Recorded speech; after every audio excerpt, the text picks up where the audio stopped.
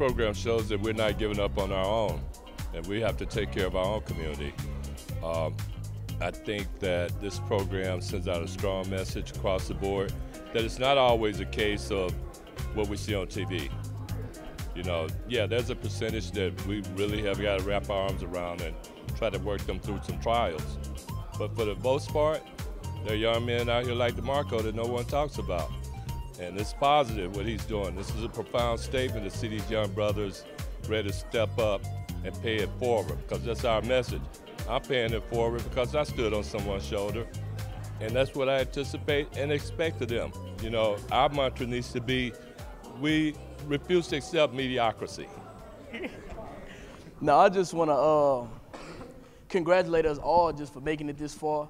You know, um, and, and, and thank you to all the mentors and just uh, just like you said, ancestors and, and Miss Willis, you know, and um, everybody just taking y'all time out the day to come see us, support us, give us something to look forward to. You know what I'm saying? A lot of people ain't never, you know what I'm saying, dressed up like this.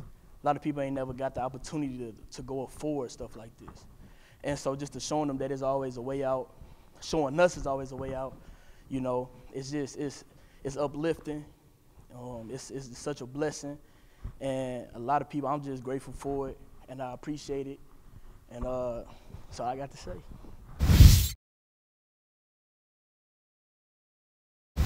Good morning, everybody. Good morning. You know what? I have the distinct pleasure of standing in front of all of you all because 45 years ago, I graduated from this school. Class of 1975. But mentees, there's one thing you all got to understand. We as mentors, we know one thing there's no free lunches. After all of this, you all are commissioned to do the same thing years from now to give back, to reach back, pull forward. One question I want to ask you guys who wants to be an everyday millionaire? Who wants to be a millionaire 20 years from now? And how do you get there? Huh? Hard work and what else? What else? What else?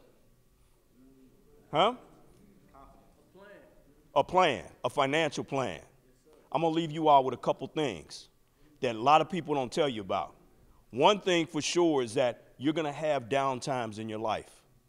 And as uh, Bruce Wayne's father told him, if you remember the scene in Batman, it's not about how you fall, it's about how you get up. So think about that as you go through life because you're going to have trials and tribulations. It's going to happen to all of us. And I think all of us, especially those with gray hair and no hair, we can tell you that. Life ain't, life ain't been a smooth roller coaster. So there's a growing phenomenon. I'm going to share this with you because I'm really excited about it. There's a growing phenomenon that's happening across the country. That there are people that are becoming quiet millionaires. And you know what quiet millionaires are? Those are people that have, number one, live within their means. Live within their means. And they've stayed out of debt nothing more than their mortgage. Then after that, they invested wisely in the stock, stock market. And then you know what else they did after they became a quiet millionaire? They gave their money and their time overly generous. They gave back. The watches that you have today, they didn't come from a foundation.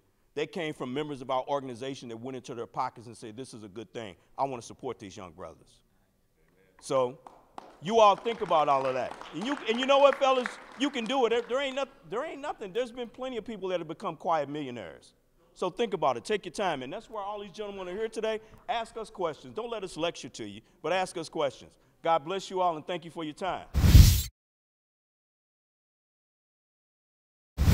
I'm Zeke Preston, uh, Reverend Preston, uh, retired Navy chaplain, Vietnam veteran. I want to say, all the young men, you all look good. Uh, like my dad told me, you never get a second chance at a first impression, and you guys definitely got the first impression look already going. I'm just going to say a couple of things, and, and then I'm gone, not to read this whole thing, but I want to say instead of looking at what you don't have, I want you to look at the opportunities in life waiting ahead of you. Because in life, things can be a lot worse than what you see for yourself right now. by looking at the big picture of life, you can have the opportunities to be whatever you want to become in life. There are many roads in life you can take. You should start thinking about them while you are completing your last months in school right now. Here are some examples of some career choices you can make just to think about. Post office, policemen, firemen, mechanics, pipe fitters, military like me. In closing, I want to say this. Be empowerment pledge. I'm reading. I pledge to always maintain a positive attitude. I pledge to make good, sound decisions.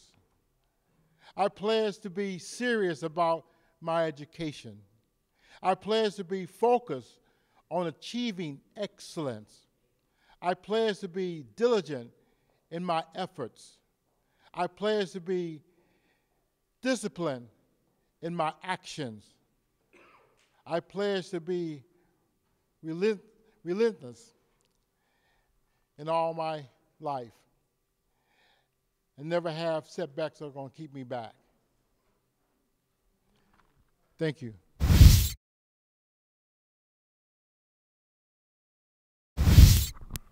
Well, good morning, each and every one of you. Let me introduce myself. My name is Zaki Baruti, and I'm just here to salute the young men. Give yourselves a round of applause, first and foremost. You have now on the stage of embarking in terms of a journey of life. And in that journey of life, some of the keys that I'd like for you to hold on to. First of all, for longevity of life and being blessed, you should always honor thy mother and thy father, first and foremost.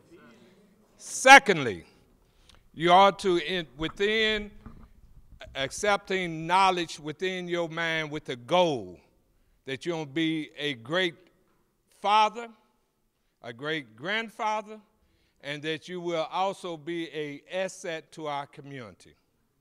God got you here for a purpose, and you have to understand your purpose.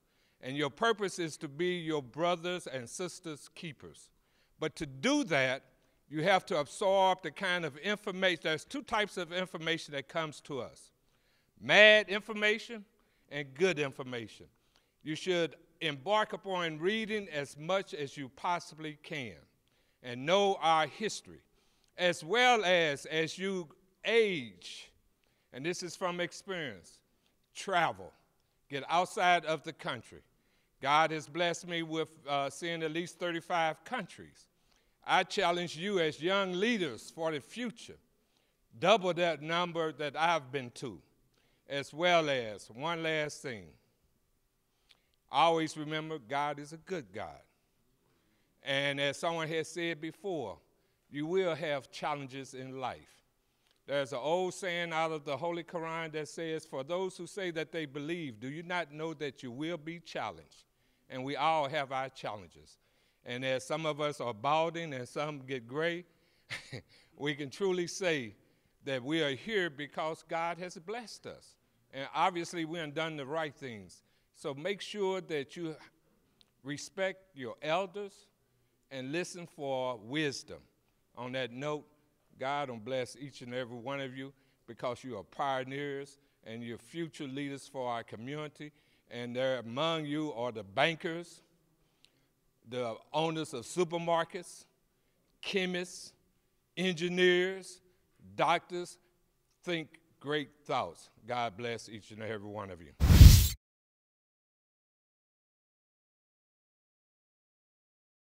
Hey, um, my name is Jerome Harris, and I've had the privilege uh, to walk with a lot of you uh, on your journey so far.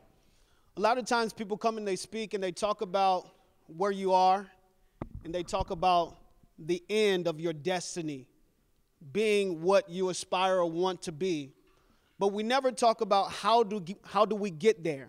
How do we avoid the traps of, of, of, of, of, of distractions and, and things of that nature, that, that journey. One the things I want to kind of share with you is because I'm not as old as a lot of a lot of the guys that come to speak. mature. yeah, that's a, that's a good one. That's a good one. Uh, not as mature uh, and not as bald. Praise the Lord. I'm, I'm, I'm, getting there. I'm, I'm getting there. Um, but one of the things, you know, I've had people like these guys come into my life because I wasn't as fortunate uh, to have my father in my life to kind of lead me and give me some of that wisdom that I was able to attain from a lot of my mentors. And so, what I'll share with you is something that I've learned so far. In the scriptures, it talked about a man named Peter who was in a boat with a lot of other guys. And they saw what seemed to be a, a ghost like figure walking on water. And Peter, Peter said, If it be you, Lord, bid me to come out and walk on the water. The figure said, Come. Period. Peter stepped out of the boat, walked on water, and he walked to Jesus. One of the things that I kind of um, extract from that story is that Peter was the only one that stepped out of that boat. And a lot of you guys, all of you guys are graduating, and sometimes it's going to feel like you stepped out by yourself. You're going to feel like you're, you're alone. I felt like that when I graduated and went off to college. I felt alone. Some of you are going to dorm rooms, some of you are going, you know, wherever you're going. Sometimes you're going to feel by yourself, but you're not. On the road to your des- destiny, on the road to, to whatever that is, remember that you are never alone. You're not by yourself. You have people rooting for you. You have people cheering for you. You have, you have people hoping you to, to, to get to that place that God has designed and prepared for you. The second thing in that story that, that I extract is that Peter, on his way to the destination of what he saw for himself, he got distracted. There were winds, there were waves that kind of knocked him off balance. And from that, he began to sink. Distractions will come. Temptations will come. Temptation isn't tempting, isn't temptation unless it's tempting. And so you will be uh, faced with some, some temptations. That's okay. Because even when you feel like you're sinking, because God has purpose on your life, because God has a destiny for you, ultimately you will get back to that place to where you was meant to stand.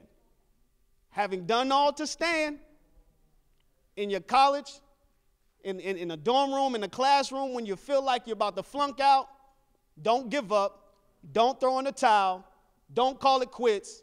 Stand, persevere, and endure.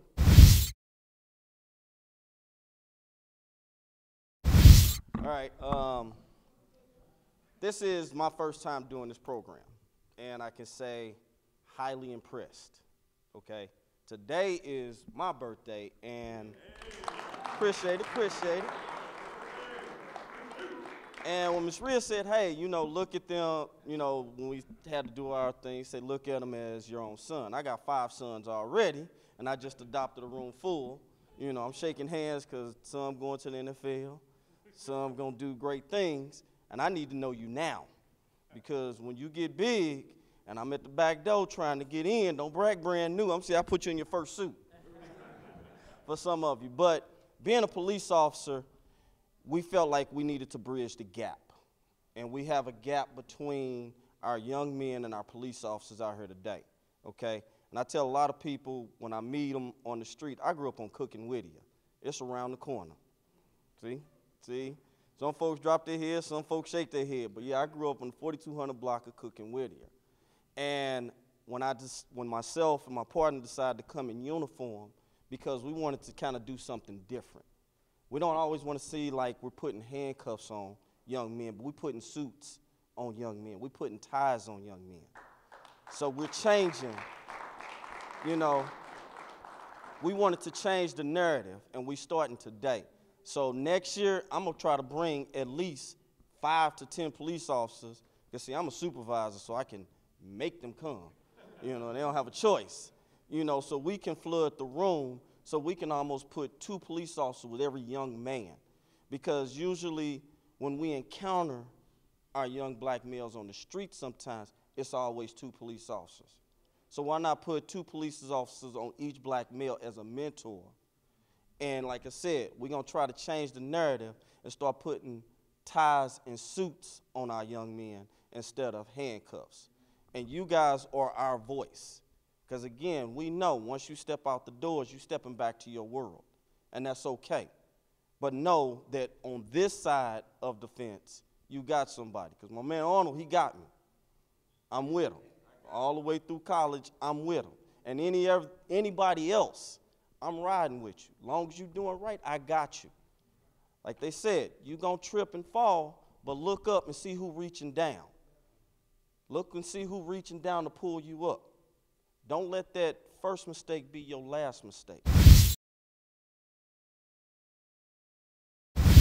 Guys, I got to tell you, this is a this is a humbling, a very uh, touching experience for me. I know it's like to raise a black man. My son is a former St. Louis County police officer, a task force officer, a DEA agent. He's six seven. And I always knew he was going to be a big kid, so while he was young, I made sure I took advantage of it to put my blows in so that when he got to be a big kid, now we're, we're good friends because I respect him. He took the advice that I gave him because I gave him advice from life experience. A lot of times, I know you guys say, man, here come those old guys preaching to us again. But I'm here because of an old guy preaching to me. I can remember riding these streets out here when I was younger, and a kid once tried to take my bicycle and the only reason I wouldn't let him have it is because I was worried about the impact it would have on me when I got home with my father. Because I got to tell you, you guys think a lot of what you sing is brand new. Every brother in here has gone through it and survived it and made choices. Because the one thing I want to leave with you is there's no truer statement than you are the sum of your choices. What you choose, the decisions you make, will last for a long time. You can make that road as smooth as you want it to be, or you can make it bumpy. And I guarantee you, as my friend Barak Zaki was saying, there will be challenges. There will be adversity. How will you get up and dust yourself off and handle it? That's going to be the true test. We all can handle good times. But what, what will you do when trouble's looking you in the face and you have to make a decision on how to recover? And that's the fact of life. But I want to say this, guys. Those suits, I wish you could wear them every day of the week. Because I, I got to tell you, man, this is, a, this is an awesome view. It's, it's, a provi- it's a profound view, and it shows that you truly did come from kings because you look like the kings that you really are. So let's keep this going, all right?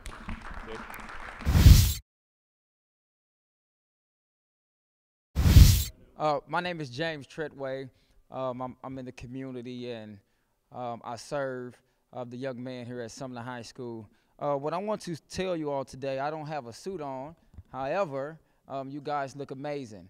Uh, what I do want to tell you all is that um, this, that the people who have donated, the people who have put this program together, they put them suits on you to pull something out of you.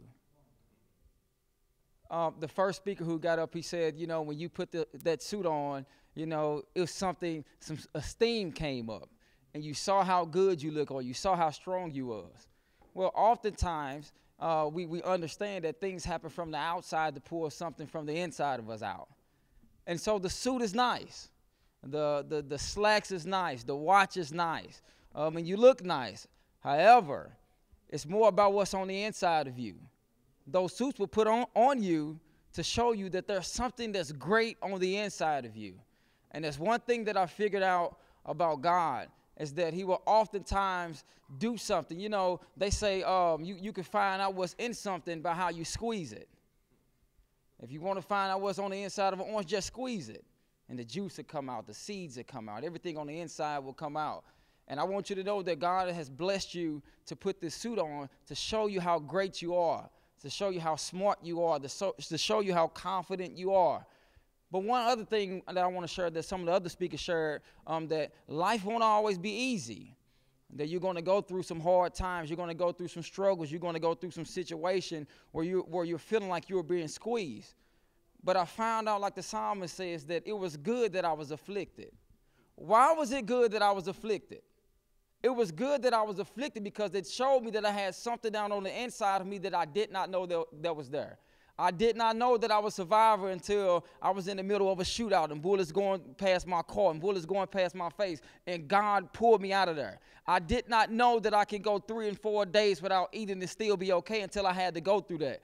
I did not know that I could be a successful young black entrepreneur, a young black father, a minister, and a, and a mentor until I came out of the streets of St. Louis, and now I'm older. And so now I can say this good that I was afflicted because now I can see how strong I am. I want you to know that your living situation, or um, you might be part of a broken family, a broken home. You may be um, part of a school system that don't have all the money. But I'm telling you, you're looking at a byproduct. You're looking at someone who's been through it. And I showed hard work. I showed determination. I showed, I showed resilience that when I fail, I had to get back up. I want you to know that when God created you and uh, He birthed you, you came in this world without any clothes on.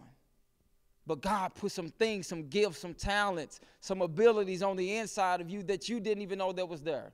And everything that you will accomplish, everything that you will do, God has placed something on the inside of you to get it done. Great job, fellas. Great job for everyone who put this thing on, all the mentees, all the mentors. Give yourselves a round of applause. Thank you.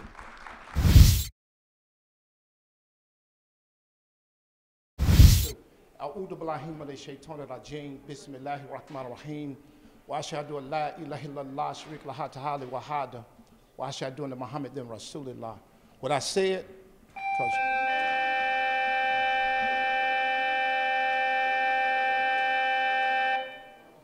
that's what i said i said i seek refuge in allah against the enemy of god and man with the name of allah the most gracious the most merciful i said god don't have a size he don't have an image he don't have a color he don't have a container he don't have a beginning or ending. He don't have a circumference or diameter or limitation. He don't have a boundary. He don't have a father, a son, a wife, a daughter, a mother. And I bear witness in every prophet from Adam to Muhammad, peace be upon them all. Again, I say assalamu alaikum, that means peace. I'm really happy to be here because I'm leaving from here going to the jail. Most of anybody who knows me know three days a week I'm in the jails. I've been doing this for the last 35 years. And when I look at the brothers here, it's different from where I'm going to go to. I wore black today for a reason. I purposely wore black. I didn't want to put on no suit today. And I started to put on a suit. I said, no, I'm going to come freestyle. Because when we went to Africa, the sister went with me. This is how they dress in Africa. See, it's about your culture also. And I want to have on all black because somebody told you black ain't where it is. And I'm telling you, that's where it really is. See, without the black woman back there, it wouldn't be nobody on the planet Earth. You're the mother of civilization. Now you can give these sisters a round of applause, for real.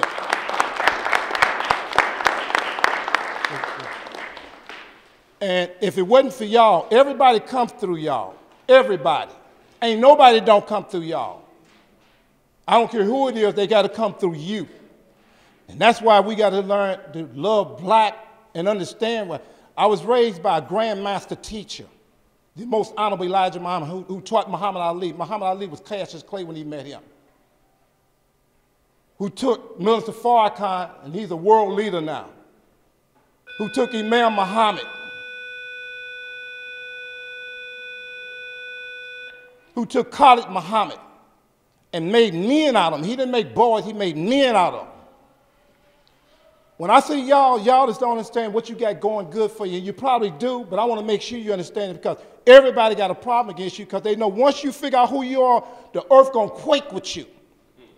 This brother, me, just, he helped me, Brother John, because I don't fool with a lot of people.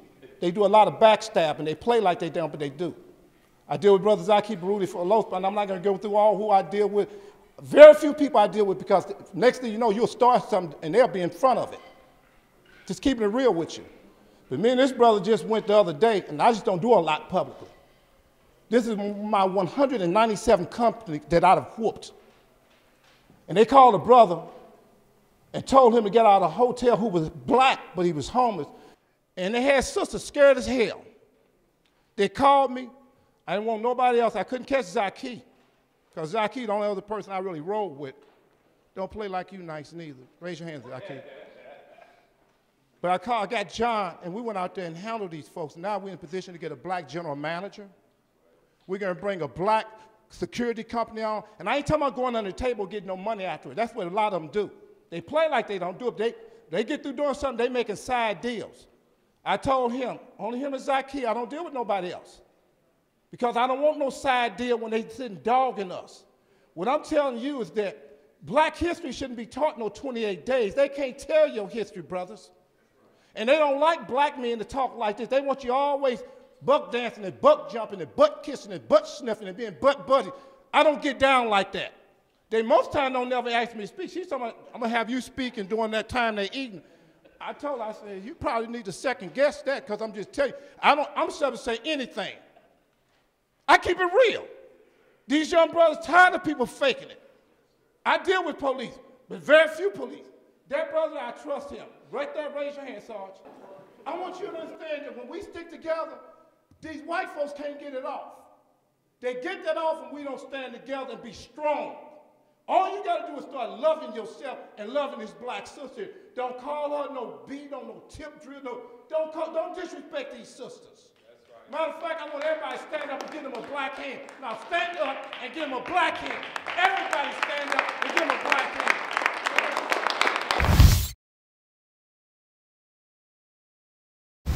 You know, I think that's really one of the blessings of the whole program and the event today, because one of the objectives is to get people like Anthony, young men like Anthony, not only to prosper and do things, you know, from here for the next step, but to also to repeat this, to give back to the community, to give back to their school, to make a difference, to reach back and pull forward. Today, I feel like I don't, I don't know. It feel, it feel good. You know what I'm saying? Uh, seeing a lot of, of our, my classmates in this, and um, I feel good, you know what I'm saying? First, I was with the suits, I thought it was gonna be too big, just gonna look, look kind of fat, like a trash bag on me, but then when I put it on, I just, I just feel good, I feel good, I feel, feel smart, I feel positive, you know what I'm saying? I feel like, you know, like, mm, I feel short, which I what old heads say, I feel short. so I can taste my grandma, you know what I'm saying? That's how I feel. Man, it feels great. It feels, it feels wonderful. Um, a lot of people did not get the opportunity to dress like this on a regular. A lot of people dress uh, certain ways in their own style, and um, not realizing that the style that we all do dress in comes out to match each other's, you know. And so sometimes when you dress up like this, it just feels good. It just feels make you feel wonderful, make you feel great. And I just thankful like all my teachers and Miss Willis for getting us all together. She just came through with it, and we all applied. We all just got together and agreed.